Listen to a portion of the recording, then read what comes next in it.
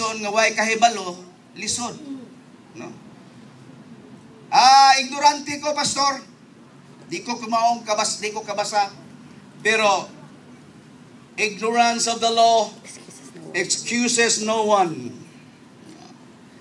Tabo kaskulon mga igsoon.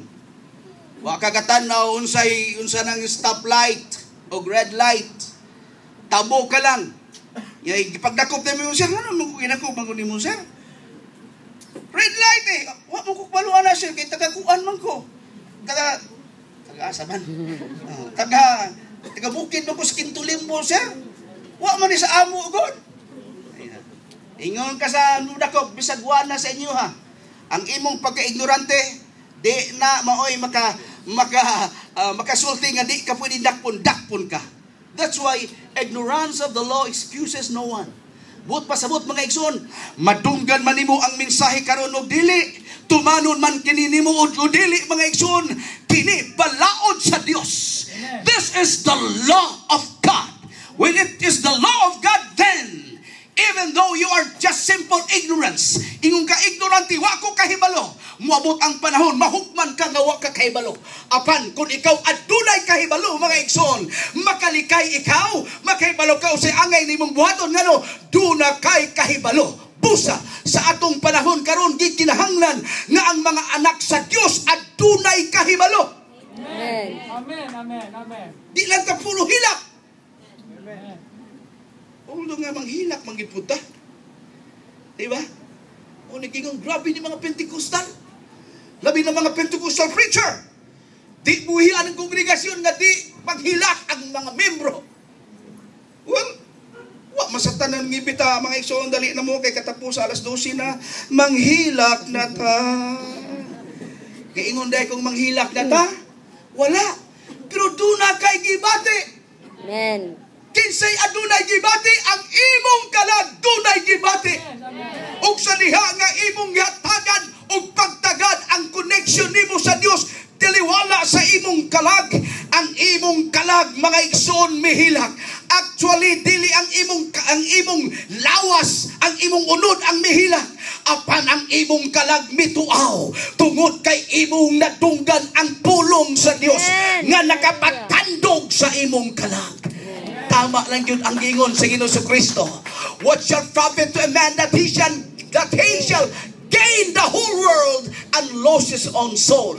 Maangko nimo ang tibuok kalibutan, unya ba wag kang ang imong? Amen. Pagkadako.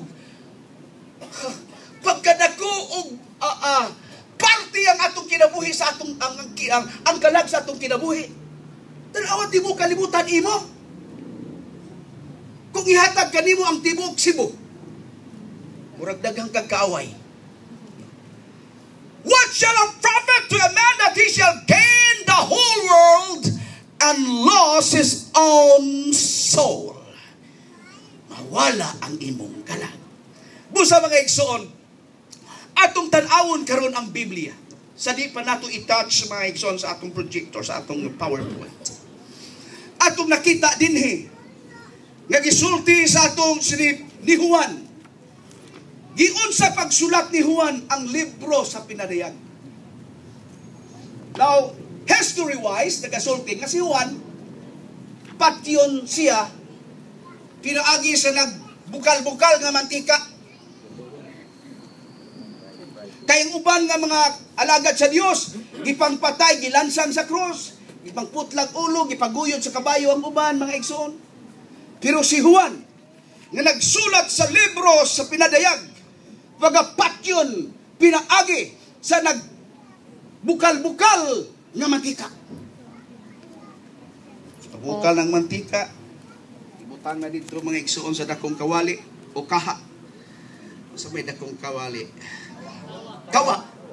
Kawa. Bukal na. Itsa si Juan dito.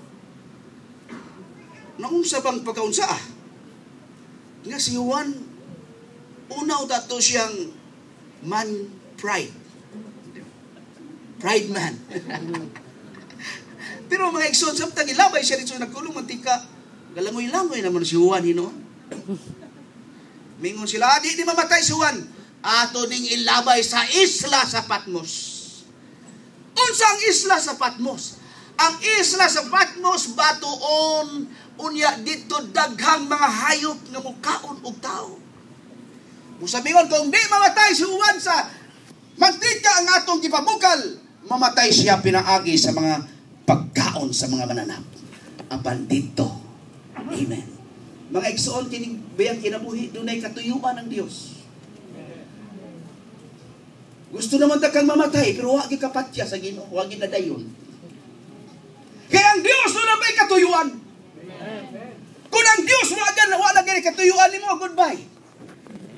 Human na tanan finish contract niya.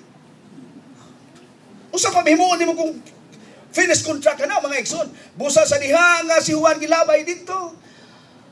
No God, ang Dios dunay katuyuan. Usahay ibutang ta sa Dios sa isla sa Patmos aron iyang ipadayag ang mga butang nga wa pa Amen. nato Buso si Juan mingon ng Biblia, Juan isulat ang imong nadungog ug ang imong nakita. O kini nagaiskot sa libro sa pinadayag. The Book of Revelation. The English title Revelation comes from the first word of the book in Greek. That word is apocalypsis, which means the of something previously unrevealed. Simple illustration is this. Wa mo kakita kung unsay naa ining gitabunan. Kinahanglan ipadayag. There must be something revelation. Pero hangtod nga dili makuha kini. Dili nato makita kung unsa ang naa sige ah, unsay ana ni anang maong nga uh, maong nga, nga ah, parte tungod kay kana gitabunan man. Busa ang propesya nagaingon is to unveiled niadtong previously and revealed. So kung ato ning kuhaon, maode na siya. Oh. Ngano, kay na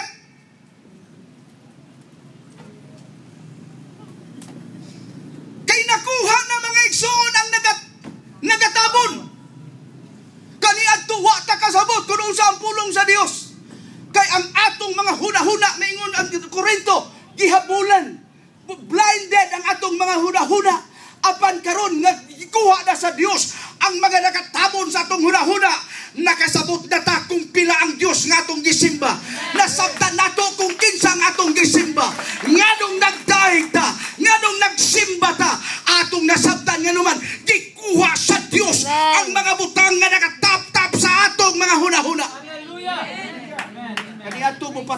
uban ug pagpakamatay sa ilang relihiyon. Pero karon atong nasabtan. Na kung kuhaon na sa Dios ang mga butang, mga igsuon nga tinabunan, iya na unyang ipadayag. Ang atong kalibutan karon puno sa problema. Ang nasod karon naggusto o gitawag nga kalinaw. Kining kalibutan na, kung kapitan pa rin sa barko, mga igsoon mingon, abandon ship. Ha. Malunod ang barko. Malunod ang kalibutan. Abandon world. Katlimti ang kalibutan. Bubiya ka na mga igsoon. Yan naman, atong nasabtan. Nga kining kalibutan na mga igsoon. Dili gayud makahatag og tinuod nga kalipay sa iyang mga anak. Apan salamat sa atong Ginoong Kristo iyang giablihan. Binuksan niya mga kapatid. Meron pala tayong kasamang Tagalog ngayon. Kaya mga pang binuksan po ng ating Panginoon ay ito po'y nakikita po ang mga bagay na ito po na kung saan ito po ay natapunan mga kapatid. Kaya po, yun po ang libro po ng Apocalypse, Revelation, na ipinadayag o pinadayag sa Diyos sa atong taliwala aron atong masabtan ang mga panghitabo sa atong kapanahonan. Now, the book contains many symbols